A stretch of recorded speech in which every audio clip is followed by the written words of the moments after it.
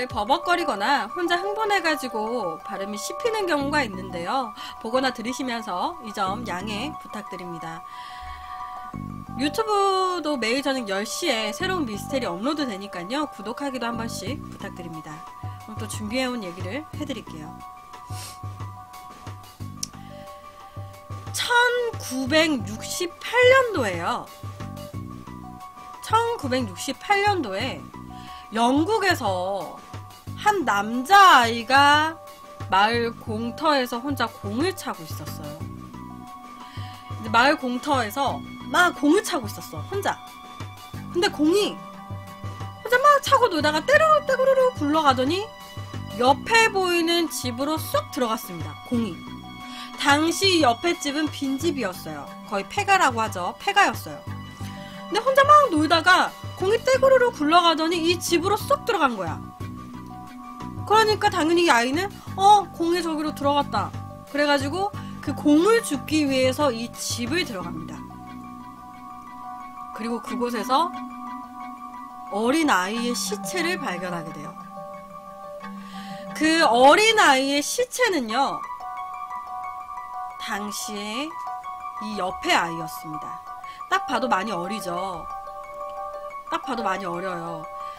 당시 4살이었던 마틴 브라운이라고 하는 남자입니다. 소년이에요. 아기 아기. 4살 됐어 4살.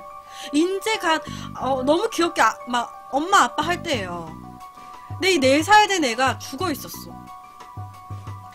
이 꼬마 아이는 왜 그 아까 보여드렸던 그 집이요. 당시 이 아이가 쓰러져 있었던 발견됐던 당시 현장이에요. 그 집이에요.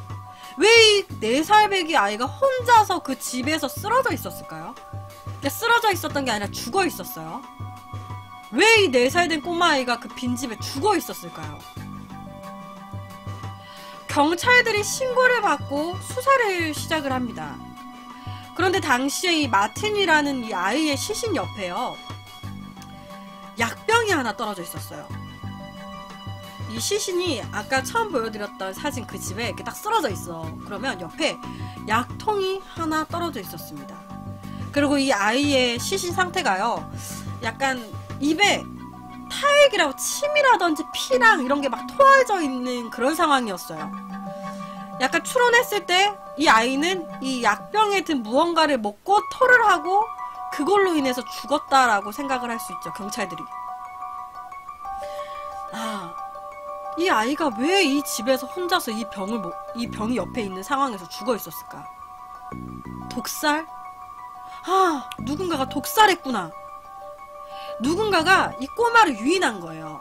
애가 혼자 막 놀고 있으니까 가가지고 꼬마 아이야 배고프지 않니? 아줌마 아저씨 따라오면은 샌드위치 줄게. 아줌마 아저씨 따라올래? 그러니까 이 네 살배기 애가 아 네 알겠어요 하고 막 따라가. 그 아까 그 집으로 들어간 거야. 그리고 이 아줌마 아저씨가 이 약통을 딱 준 거죠. 애야 너 이거 먹어. 애가 이거 먹은 거야. 그래서 어어 어 하더니 죽은 거예요.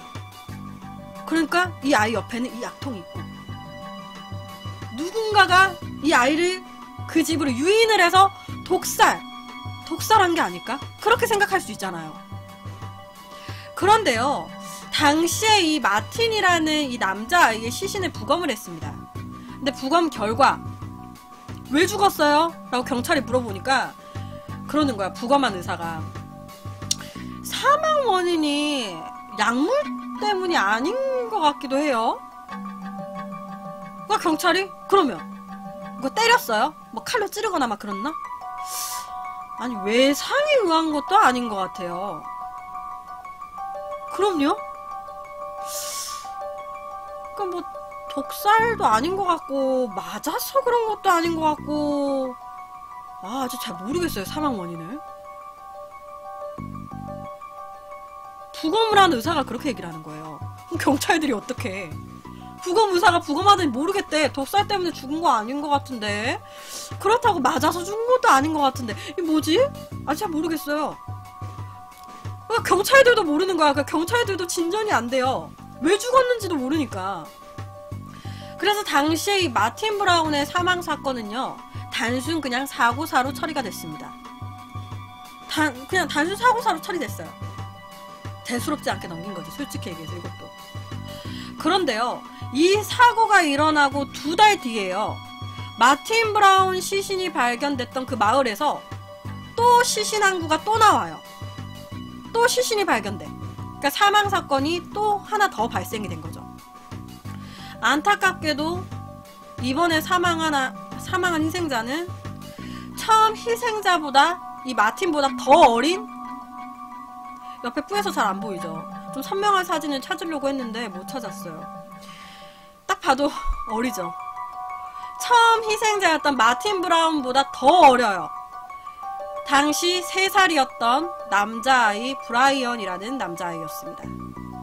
브라이언이라는 남자아이예요. 3살이었습니다. 당시 마틴 브라운, 아니, 마틴 브라운이 아니라 이 브라운이라는 아이의 시체 상태는요. 우선 목이 졸려 있었어요. 이 3살짜리 이 브라이언의 시체를 부검하는데 목이 이렇게 눌려 있어. 목이 졸려 있었습니다. 그리고 허벅지에요. 아주 깊게 찔린 상처가 있었어요. 허벅지에. 이 3살 배기 애가 막 진짜 이, 이 정도밖에 안 하겠지 3살이면. 근데 되게 작아. 근데 그애 허벅지에 엄청 깊게 찔린 자국이 있었어요. 상처가. 그리고 3살짜리 이 남자아이의 성기가 일부 껍질이 벗겨져 있었습니다. 훼손된 거예요. 훼손돼 있었어요. 그리고 머리카락도 가위에 잘려져 있었습니다. 막 자른 거야. 그리고 이 브라이언이 3살짜리 아이 배에요. 면도칼로 M자라고 이니셜이 새겨져 있었습니다. 이 3살짜리 애한테. 3살짜리 애 배에다가 M자라고 면도칼로 박았어. 그 허벅지에 뭔가 뾰족한 걸로 팍 찔러버리고, 어, 팍 찔러버리고, 머리카락 가위로 잘라버리고요. 그 성기도 훼손해버렸어요. 그리고 목 졸라서 죽여버렸습니다. 그런데 첫 번째 마틴 브라운이 사망했을 때도요, 그 시신 옆에 약병이 있었다 했잖아요.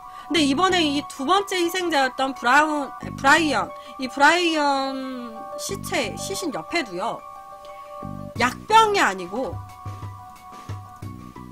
풀, 보라색 풀. 그러니까 보라색 꽃, 보라색 꽃이랑요, 가위랑, 그리고 풀이 있었어요. 그냥 풀이랑 가위랑 보라색 꽃. 꽃이 그 브라이언 옆에 놓아져 있었습니다. 당시 경찰들이요, 촉이 있잖아요. 두 달 전에 비슷한 연령대의 애가 죽었어요. 그러다 보니까, 아, 연쇄살인마다. 딱 촉이 온 거야. 그 동일범이다. 이거 지금 어린 얘만, 똑같은 아이들만 노리고 죽이고 있다. 연쇄살인, 연쇄살인마, 연쇄살인자가 나타났다. 바로 추측을 했습니다. 이 두 사건의 범인은 똑같다라고 추리를 한 거죠. 그래서 이 경찰들이요, 사고가 발생한 그 마을 있죠. 한, 한 집 한 집 다 돌아다녀요, 경찰들이. 똑똑하고 문 열면, 혹시 몇 시부터 몇 시쯤에 어디 계셨어요? 마을 사람들 모든 집들을 돌아다니면서 치조를 합니다. 알리바이를 확인하는 거예요, 마을 사람들. 이 시간에 뭐 하셨어요? 아, 슈퍼 가셨어요? 슈퍼 말고 뭐, 뭐 증인해줄 분 있나요? 그리고 마을 사람들 전체를 치조를 하고 다닌 결과 유력한 용의자가 추려집니다. 이 유력한 용의자는요, 치조를 하는데 그러는 거예요. 치조를 하는데 유력한 용의자를 잡아갖고 경찰서에 치조를 해. 근데 이 사람이 그러는 거야. 용의자가. 저는 그냥 존이라는 친구랑 막 놀고 있었는데 막 놀다가 우연찮게 사건 범행 현장을 목격하게 됐어요. 아, 뭐 어떤 남자아이가 쓰러져 있었는데 거기에 막 보라색 꽃도 놓여져 있고 막 가위도 있고 하던데 그냥 우연찮게 보게 됐어요. 라고 얘기를 합니다. 근데 경찰이 조사를 해보니까 분명히 아까 이 사람이 나 존이라는 친구랑 같이 그냥 놀다가 우연찮게 범행, 현, 범행 현장을 목격했어요 라고 얘기를 했어요 근데 그럼 그 존이라는 친구를 알아보니까 존이라는 친구는 당시에 이 마을에 없었어 공항이나 뭐 다른 곳에 있었대요 존이라는 친구는 이 마을에 없었어요 근데 이 용의자는 아, 나 존이라는 친구랑 그냥 뭐 놀다가 범행 현장 목격했어요. 라고 얘기를 했잖아. 근데 이 존은 마을에 없었는데? 즉 그 얘기는 이 용의자가 거짓말을 하고 있다는 얘기죠. 그럼 이 용의자는 왜 거짓말을 했을까? 만약에 거짓말이라고 치면은 당시 이 시신이 발견되고 나서요 바리게이트를 치고 사건 현장에 아무도 못 들어오게 했어요. 왜냐면 사건 현장이 훼손되면 안 되니까. 근데 이 용의자는 어떻게 그 시신 옆에 보라색 꽃이 있고 뭐 이런 걸 어떻게 알았을까? 이 용의자는요 사건 범행 현장을 제일 처음 목격한 사람이 아니에요. 그냥 어, 그냥 친구랑 놀다가 막 뭐가 뭐 사람들 부글부글 하길래 갔는데 범행 현장 갔는데 거기에 보니까 막 보라색 꽃도 놓아져 있고 그러던데요. 이 용의자는 처음 발견한 최초 발견자가 아니에요. 경찰들이 바리게이트를 치고 이 현장에 아무도 못 오게끔 엄격하게 규율을 하고 있었어요. 근데 이 용의자는 거기 막 시신 옆에 보라색 꽃도 있고 그러던데? 이거 어떻게 알고 있어? 이상하잖아요. 그래서 경찰들이 더 강력하게 이 사람이 정말 이상하다라고 생각을 해서 생각을 하게 돼요. 얘, 얘 같은데. 얘 같은데. 그래서 이 용의자의 집을 들어가가지고요. 이 용의자의 집에서 용의자가 쓴 일기장을 발견합니다. 그리고 이 일기장에는 일반인이라면은 전혀 알 수 없는 사건 현장의 약병이 어떤 약병이며 시체가 어떻게 눕혀져 있었으며 뭐 그런 게 되게 상세하게 그 일기장에 적혀 있었어요. 일반인이라면 전혀 알 수 없는 그런 단서들 있죠. 살인 현장에 대해서 너무 자세하게 그 일기장에 적혀져 있는 거야. 마틴 브라운과 브라이언의 살해 현장 그 상황이 너무 정교하게 적혀져 있어. 일반인은 알 수가 없는데. 그 얘기는 즉 이 용의자가 희생자인 브라이언이나 마틴 아이가 죽어갈 때 현장에 있었다라는 증거가 되죠. 그럼 그 일기장을 그렇게 상세하게 쓸 수가 없잖아. 그래서 이 용의자를 바로 체포합니다. 너 뭔가 이상하다. 바로 체포해요. 그 일기장 딱 발견하고 너다 해서 바로 체포해요. 그 용의자가 옆에 메리벨이라고 하는 10살 소녀입니다. 아, 뭐, 나 그냥 존이랑, 존이라는 친구랑요, 그냥, 그 근처에서 공놀이하고 놀고 있는데, 그냥 우연찮게 그 사건 현장을 발견하게 됐, 어요 아, 근데 그 막 보니까 보라색 꽃도 막 시신 옆에 놓여, 놓여져 있고 그러대요. 아저씨, 그 뭐 죽었어요? 이러면서. 10살 된 소녀입니다. 이 소녀는요, 당시에 경찰들이 체포하고 나서요, 내내 웃었어요. 경찰들이 야 메리야 네가 죽였지 에? 에? 아저씨 뭐라고요? 아 몰라요 나 안 죽였는데 몰라요 왜 나한테 그래요 나 몰라요 아저씨 지금 뭐 하는 거예요? 이러면서 내내 웃어요 치도받는데 그래서 계속 거짓말을 합니다 웃으면서 근데 결론은 증거 불충분으로 경찰이 계속 부르는데 증거가 부족하니까 계속 다시 풀려나요 그리고 얼마 후에요. 두 번째 희생자인 브라이언의 장례식이 열립니다. 이 메리벨이 풀려나고 나서요. 이 희생자였던 브라이언의 장례식이 열린 거예요. 그리고 그 장례식에 경찰들도 참석을 했습니다. 근데 얼마나 엄숙해요. 막 장례식이 하고 있어. 세 살 되네. 그래서 경찰들이 이렇게 가만히 이렇게 아유 안타깝다 이러고 있는데 앞에 메리벨이 있는 거야. 이 여자애가. 그래서 어 메리벨도 여기 와 있네. 근데 메리벨이요 웃고 있어요. 딱 이러면서 웃고 있어요. 장례식장에서 웃고 있습니다. 그리고 경찰들은 그 모습을 보고요. 와, 쟤 맞다. 100%다. 확신을 했어요. 쟤 맞다. 그래서 경찰들은요, 메리벨 주변의 친구들 있죠.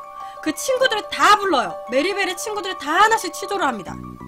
근데 당시 이 메리벨의 친구였던 노마라는 친구가 있어요. 그 친구가 자백을 해요.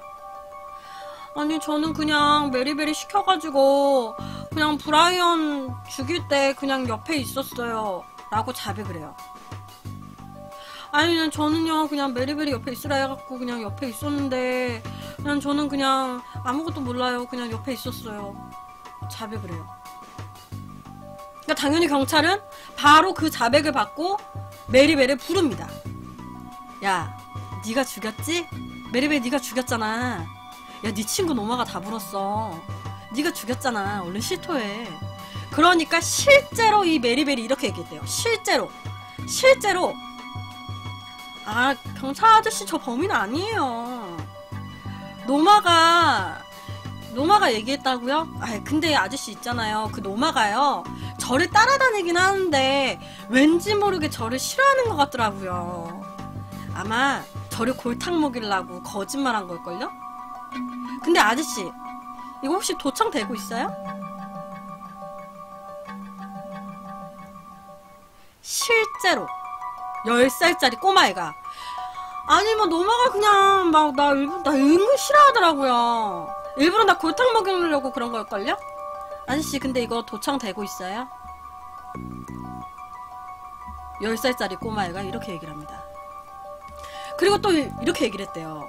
왜 도청되면 뭐 어떡하게 뭐 이렇게 하니까 경찰 아저씨도 괜히 나 그냥 잡고 싶은 거잖아요. 그냥 저를 그냥 범인으로 몰고 싶은 거잖아요. 얼른 사건 덮으려고. 그러니까 뭐든 증거로 다 잡아보려고 괜히 나 졸졸 따라다니는 거 아니에요? 아저씨들 일부러 나 괜히 나 잡으려고 일부러 증거 어떻게든 잡으려고 그러는 거잖아요. 나 일부러 범인으로 모는 거잖아요.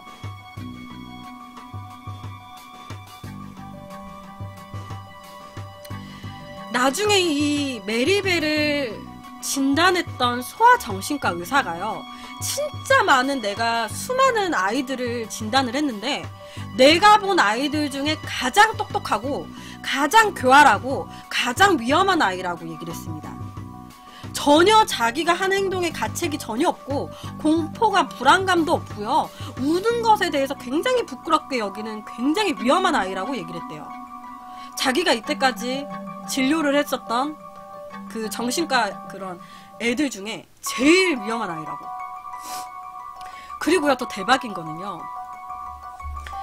이 메리벨이 첫 번째 희생자였던 마틴을 죽였어요. 그리고 죽이고 나서요. 메리벨이랑 그리고 자기 아까 그 자백했던 노마, 노마라는 둘이 친구가 메리벨이랑 노마가요. 마틴 죽이고 나서 마틴 이모를 찾아갔대요. 마틴 이모. 오늘 노마랑 메리벨이 마틴 죽였어요. 그리고 시신 냅두고요. 몇 시간 뒤에 마틴 이모를 찾아가는 거예요. 그 얘기를 합니다. 이것도 실제 100% 나눈 대화래요. 이모한테 가. 어, 안녕하세요. 저 메리벨이라고 하는데, 마틴 이모세요? 어, 내가 마틴 이모인데. 마틴 죽었죠? 어, 오늘 아까 시신이 발견됐어. 죽었단다. 마틴 죽어서 슬퍼요? 어? 마틴 죽어서 울었어요? 마틴 죽어서 무슨 생각이 들어요? 어떤 감정이에요? 마틴 죽어서 어때요? 울었어요? 봤어요, 시신? 마틴 죽어서 슬퍼요? 어떤 감정이 들어요? 당시에 이 마틴 이모네 집에 가가지고요, 이 이모한테 마틴 죽었는데 기분이 어떠냐고 계속 물어본 거예요. 그러니까 당시에 이 어른들이요, 소름 끼쳐가지고 나가라고 내쫓았대요. 약간 이 메리벨이라는 이 소녀가요, 가족을 잃은 사람들 있죠. 가족을 잃은 사람들이 슬퍼하는 표정이나 반응, 이런 걸로 약간, 우와, 막 희열을 느꼈다라고 얘기를 합니다. 가족을 잃은 사람들이 막 괴로워하는 게 막 희열인 거야. 막 슬퍼하고 하는 게. 이 마틴 엄마한테도 찾아갔어요. 이 마틴 이모한테 찾아간 다음에 이 메리벨이 마틴 엄마한테 찾아갑니다. 이것도 실제로 100% 나눈 대화래요. 마틴 있어요? 마틴 얼굴 보러 왔는데. 어, 마틴 없어. 아, 없는 건 알아요. 어차피 관 속에 있는 얼굴 보려고 온 건데. 실제 이렇게 대화를 나눴대요. 어, 마틴 있어요. 마틴 얼굴 보러 왔는데. 어, 메리벨 마틴 이제 없어. 아, 없는 건 알아요. 관 속에 있는 얼굴 보러 온 거예요. 두 번째 희생자 이 브라이언이 죽었을 때는요. 또 똑같아요. 노마랑 메리벨이요. 브라이언 집으로 옵니다. 죽이고 나서 와요. 그 당시 이 브라이언 누나가 집에 있었는데요. 이것도 또 100% 싫어해요. 뭐라고 얘기를 했냐? 혹시 브라이언 누나세요? 어, 누구니? 저 브라이언 친구인데 브라이언 찾고 계세요? 저 어디 있는지 아는데. 우리랑 같이 가면 보여줄게요. 아, 그래? 브라이언 어디 있는데? 내가 가면 보여줄게요. 나 브라이언 어디 있는지 알아요. 나 따라와요. 당시에 이 메리벨이요. 이 누나한테 브라이언 시체를 굉장히 보여주고 싶어 했대요. 계속 오라고. 자기가 보여준다고. 왜? 죽은 동생 모습 보는 누나의 반응이 궁금해서. 아, 이 누나가 자기 동생 죽은 거 보면은 어떤 반응을 보일라나?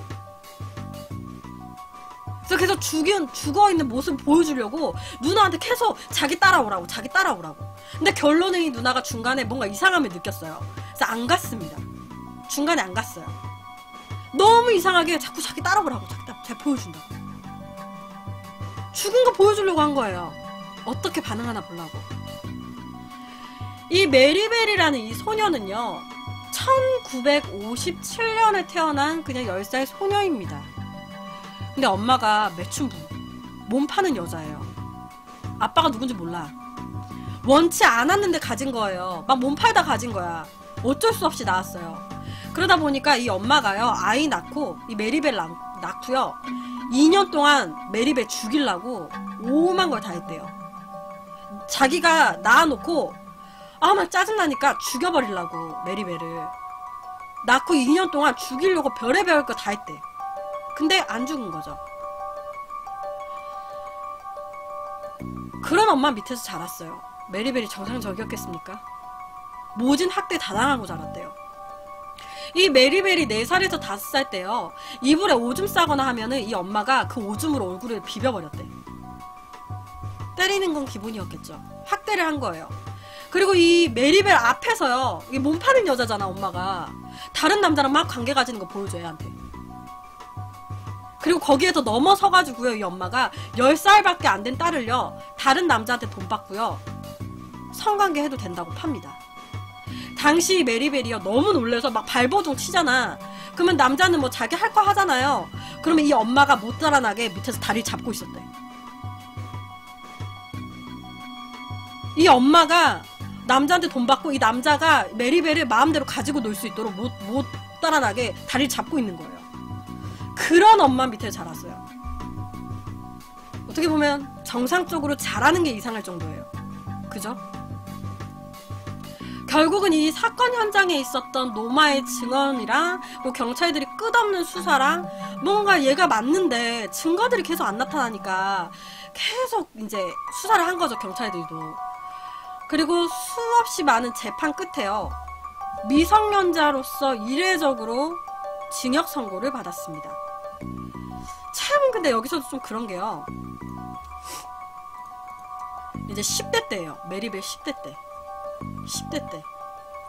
이 메리벨이요 신문이나 언론에 악마 아이라고 해가지고 사이코패스라고 이제 막 화제가 막 된 거예요.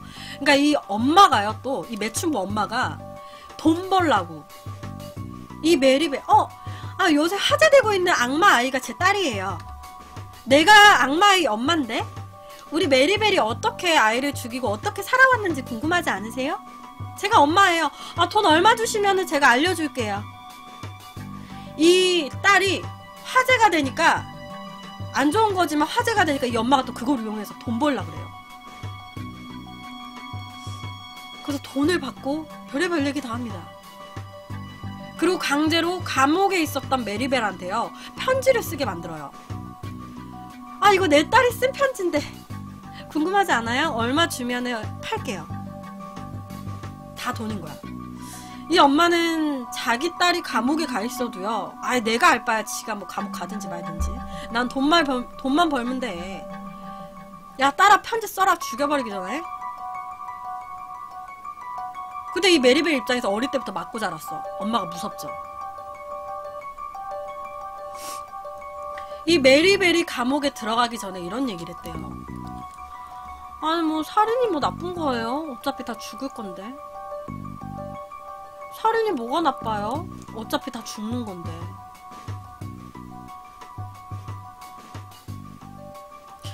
이 메리벨은요, 감옥에 보, 보내지고 나서요, 10년 넘게 감옥 생활을 하다가 23살에, 23살에 가석방으로 감옥에서 나왔습니다. 그리고 다른 남자랑 결혼도 했다고 하고요, 아이도 낳았다고 해요. 늙었, 늙었을 때. 그리고 들리지 않는 외침이라고 해가지고 자기의 성장 과정이라든지 이런 얘기를 책, 책까지 썼어요. 책까지 썼어요. 현재 이 메리벨의 딸, 딸은요, 국가의 보호를 받으면서 숨어서 살고 있다고 하는데요. 그러다 보니까 이 메리벨은 사망을 한 것 같습니다. 당연히 사망을 하지 않았을까 싶어요. 나이가. 그리고 이제 딸들이나 이제 수손들은 이제 법적으로 좀 보호를 받고 이제 있는 거지. 그래서 이제 이 메리벨의 딸은 어디서 무엇 하는지 아무도 모른대요. 참 약간 메리벨이라는 어린아이를 이렇게 살인마로 만든 게 부모가 아닐까라는 생각도 들어요. 최연소 사이코패스. 이 메리벨에 대한 얘기를 가지고 왔습니다. 부모를 잘못 만나, 만났어. 얘가 부모 잘못 만나갖고 얘가 이렇게 잘하는 바람에 또 희생자가 난 거야. 브라이언과 이제 마틴이라는 또, 어, 소중한 아이들이 또 피해를 본 거지.